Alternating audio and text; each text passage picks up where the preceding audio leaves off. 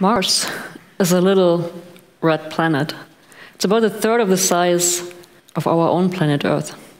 And it's somewhere around 200 million kilometers away from us. 200 million kilometers. If I wanted to drive this far in my car on a German highway, I would be underway for a million hours. It's somewhere a little bit over 100 years, not counting the time to take gas.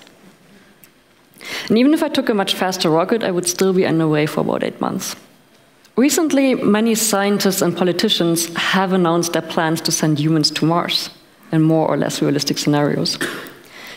NASA, for example, is planning to send a handful of humans to Mars in 2035. The European Space Agency is a bit less optimistic and aims for 2050. However, on the other hand, um, private companies have boldly claimed to send humans, 100 humans, to Mars within less than a decade or so. However long it takes to finally send humans to Mars, it won't be easy. Only recently did the not so gentle landing of a European module remind us that not even half of all landing attempts have been successful. So, if we ever want to send humans to Mars instead of just machines, there's certainly some room for improvement. So, why bother? Why send humans to Mars? As a member of the human species, I'm incredibly curious. And also, I'm concerned. I know that if our own planet Earth, at some point, for, for whatever reason, will become uninhabitable, we're screwed. If someone told us that a giant asteroid would hit Earth in five years, we wouldn't have time enough to save ourselves. So instead, we should start making a plan B for our children today. But as a human and a scientist, as I said, I'm very curious. I want to see what Mars looks like. Our ancestors, they wanted to know what lies beyond the walls of their caves. They wanted to know what's beyond the boundaries of the African continent. They wanted to know what's on the other side of the Atlantic. I want to know what Mars looks like. So if you look at the photo, you see the rover Curiosity. You also see lots of rocks and dust.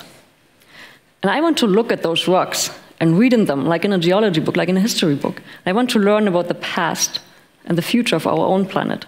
And even if I won't be able to walk on Mars myself, I want to be sure that we don't miss a sign of life on Mars just because curiosity hasn't been programmed to look right at the right time. So let's assume my wish get grant, gets granted. Let's assume someone manages to send someone. How about you? Someone manages to send you to Mars and land you safely on the surface. Then what? Mars is not an easy place to live in. You're 200 million kilometers away from your friends and from your family. You have no phone, and your email communication is underway 10 up to 20 minutes just to reach its destination, each direction, and every single time, even if you just want to know what's up. If you want to go outside, you have to wear a spacesuit because the air is so thin and so toxic. But going out in a spacesuit means you're never actually really outside. You cannot feel the wind or the sun on your skin. Instead, you feel the inside of your suit. Even when you touch the rocks around you, you feel the inside of your gloves. And if it's not the air or the lack of air that's killing you, it's the space radiation. So, because Mars is so harsh, there is no life on Mars like we know it from Earth. There are no plants, there are no animals. And the planet itself is so dry, there are no lakes or no rivers, there's no rain. So, how can you bear living in such a desolate environment? And have some technological help, obviously, but how can you bear living there mentally? I've tried it, I've tested it. I've lived at a research base called HI-SEAS on a remote volcano somewhere in the middle of the Pacific. And I've lived there under pretty much the same conditions that I just described to you. And I've lived there with five other people for an entire year. So now you could say, well, that's incredibly stupid of you, but what do I care? and my answer is that life on Mars is actually not so different from life on Earth. On the contrary, some aspects of life on Mars are so surprising, or you might find surprisingly relevant to life on Earth. And I will now tell you four little stories that hopefully make you envy life on Mars, at least just a little bit. I mean, sure, there's some negative side effects like the environment trying to kill you. And indeed, I had a crewmate who was getting increasingly scared of their environment. They were afraid of putting on a suit and going outside. They were afraid of walking on the admittedly difficult terrain. So they stopped. They stopped going outside, they stopped putting on a suit, and they stopped uh, walking on the terrain. And as a result, they became less and less capable of walking on the terrain. And then they spend the rest of their days complaining about not being able to go outside. At the same time, there was a crew member who went outside more than 100 times. Over the year, she traversed almost 1,000 kilometers. And as a result, she became very proficient. Proficient walking on the terrain, proficient working in a suit. Humans are living in Greenland, they're living in Antarctica. On the other extreme, they're living in deserts. Humans are extremely adaptable if they're willing. The conditions in our lives are not always in our favor. And then we can succumb and we can lament over how hard we have it. Or we can face our challenges and try to live up to them. It's a choice that we can make. On simulated Mars, I was conducting a little experiment. The rocks there are about as dry as on real Mars, but they do contain some water. And I tried to extract this water and collect it. It's a very slow process. And in my left hand, you can see a cylinder that contains about 400 milliliters of water, which is about the size of a drinking glass. And it took several days to collect this amount of water. So you could say that water on Mars is precious. And consequently, we had a little shower competition going on in the crew. Who could take the shortest showers? So I personally was taking a shower every three or four days, and um, typically around two, maximum three minutes. And I lost the competition by far. The shortest shower that we were taking in the crew lasted 24 seconds. so now imagine my very first time coming back on Earth and standing in front of a pool. I was sweaty, I was dirty, and I was supposed to jump into this pool of clean, precious water. This pool evaporated so much water, the amount of water that I had collected on Mars, on simulated Mars, over the course of several days, evaporated from this pool in a matter of less than five minutes. Eventually, I did go in. It took some convincing. It's okay. That's how they do it here on Earth. it's totally fine to waste a pool full of clean, drinkable water. It's totally okay to pollute the rivers and the lakes that we're drinking from. It's not sustainable, and we know it's not sustainable, but everyone does it, so it's okay for me to do it too. Right?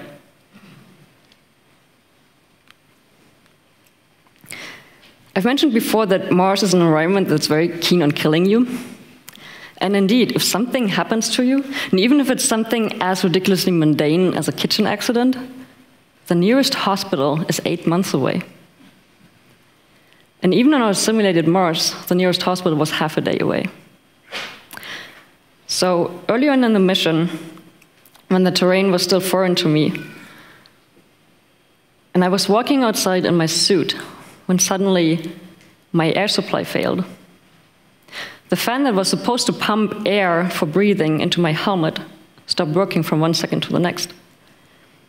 So, of course, I could have started running around and crying and um, wasting the very little air that I had left. Instead, I remained calm and walked back to the habitat where I could take my helmet off. And I did suffer from the lack of oxygen and the um, surplus of CO2. And by the time I reached the habitat, even though it was the whole incident lasted less than 10 minutes, I was extremely exhausted. Of course, on Earth, it's much harder to die than just a fan failing. But I'm proud of myself that I, I did the only thing that I could have possibly done on, on Mars. I kept my helmet on and I pulled through. So, why am I telling you this story? When I returned to Earth, I went to the train station. And I missed my train by like one, one or two minutes. And my escort, who was bringing me, was stunned at my comment. There will be another one in an hour. And she just couldn't understand how I could remain so calm. And I, on the other hand, I couldn't understand, I'm still not quite sure why I was supposed to be stressed out.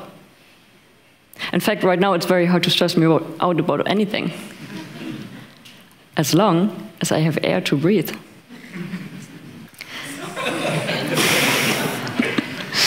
so this photo is, of course, fake. However, if you have six people in a tight space over a long period of time, you cannot avoid conflicts. And in fact, my best friend in the habitat started getting on my nerves after a couple of months because she was putting things away, which is nice because that was keeping the habitat tidy and clean. On the other hand, it was annoying me because I had to search for my things. So at some point, I was very close to snapping at her, leave my stuff alone. And then maybe she could have replied something like, I don't know about you, but I don't want to live in a pigsty. And then maybe the next morning, the next day, we wouldn't even have looked at each other anymore. So instead, I walked to her and told her, hey, listen, it's very nice that you're keeping the habitat tidy, but it's frustrating for me to always have to look for my own stuff. And her reaction was twofold. First, she was surprised. She didn't even know she had this habit. And she didn't even believe me until I caught her in the act and pointed it out to her. And then she stopped. She stopped putting stuff away that wasn't her own. Of course, occasionally she, she still made a slip. And when it happened, I just grinned at her because I saw her effort. Conflicts do happen. And the important thing is that we address them as early and as calmly as possible before they can escalate into solid arguments. Besides, everyone has their quirks. You have yours, I have mine, everybody. If you overlook mine, I will overlook yours. And this is especially true if you're living inside a tight space like a Mars habitat. But honestly, I wish we would treat each other like that on Earth more often. Mars has so many things to explore. It has caves that are larger than caves on Earth. It has a canyon that is larger than the Grand Canyon. And it has the largest mountain in the solar system. Mars has rocks that might hold the key to the, to the future of our own planet. And even if we don't find any signs of life on Mars, I'm convinced that we will be able to live on Mars. And the most successful human Martian is someone who can adapt to all sorts of different environments and situations. With someone who uses their resources sustainably, who's resilient to stresses, and who handles conflicts maturely. As I've said before, life on Mars is actually not so different from life on Earth. Thank you.